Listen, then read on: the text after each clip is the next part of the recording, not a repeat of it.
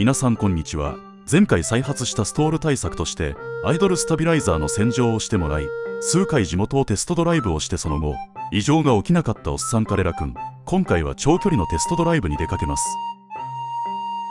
本来でしたらこの部品を新品交換するのが望ましいのでしょうが何せ9万円ほどと高額な部品なのでこうして洗浄をしてもらいストール症状が治るならと修理屋さんに丁寧な洗浄をしてもらいこれで症状が完治することに望みをかけています。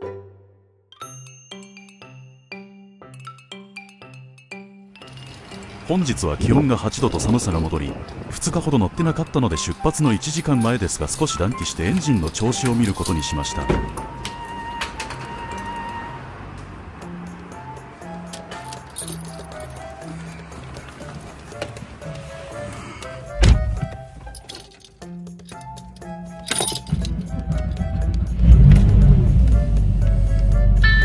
少しバッテリーが弱っているような感じですがエンジンがかかれば問題ないようです。前回修理屋さんでオイル交換の時に希少なオイルの添加剤も入れてもらったおかげでコールドスタート時のエンジン音もとても静かです。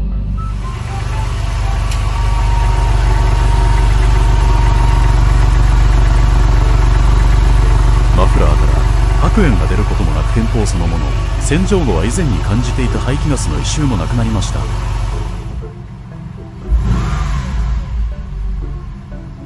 ご覧の通り吹き上がりもいい感じです。この調子なら今日の長距離走行のチェックは無事に帰ってこられそうです。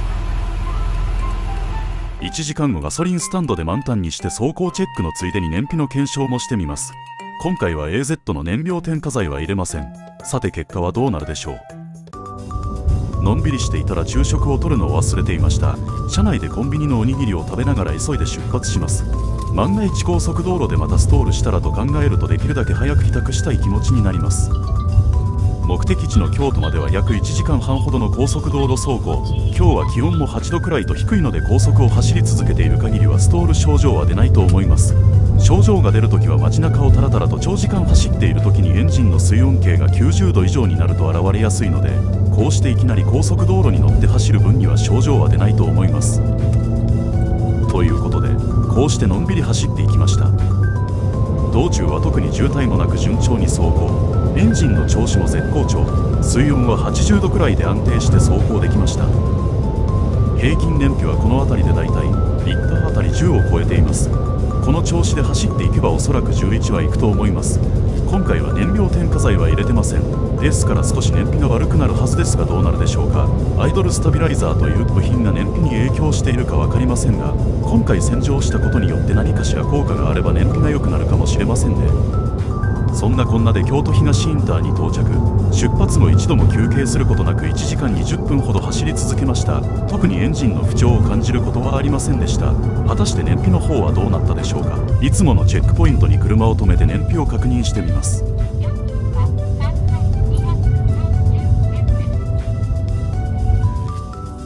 結果はリッターあたり11.7添加剤を入れた時の燃費と変わりありませんでした。ということは添加剤を入れていればもう少し良くなったかもしれません。それとアイドルスタビライザーが多少なり燃費に関係している部品かもしれないということかもですね。到着後は祇園に行き3時間ほど車を止めていつもの八坂神社を参拝。祇園の街をウォーキングして今から帰ります。エンジンも問題なく始動して特に異常は感じられません。ここからインターまでの道のりはいつも渋滞なのでその渋滞走行でストールが発生せずにインターに乗れれば問題なく帰宅できそうです。一度もストールすることなく無事に京都東インターに乗ってここ名古屋西インターに到着しました。これで今回の長距離テスト走行は終了です。気になる燃費はこんな感じ。リッターあたり11.4添加剤を入れずにこれだけ出ればまずまずだと思います。今回アイドルスタビライザーの洗浄でこんなに調子が良くなるとは思いませんでした。古いモデルのポルシェに乗って謎のストール症状でお困りの方々は一度アイドルスタビライザーを点検してみてください。洗浄作業で治るかもしれません。それでは今日はこの辺りでまたね。